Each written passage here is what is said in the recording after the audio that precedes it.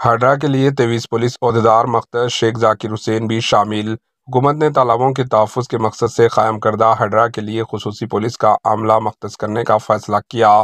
पंद्रह इंस्पेक्टर और आठ सब इंस्पेक्टर हाइड्रा के लिए मख्त किए गए। इस सिलसिले में डी जी पी दफ्तर से अहकाम जारी किए गए।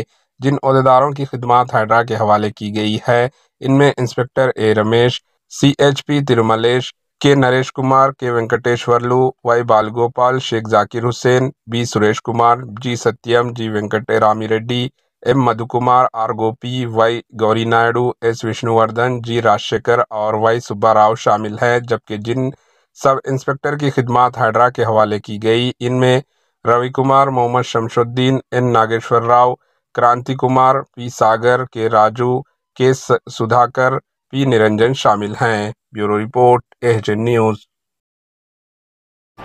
H news को लाइक करें शेयर करें और सब्सक्राइब करना ना भूलें।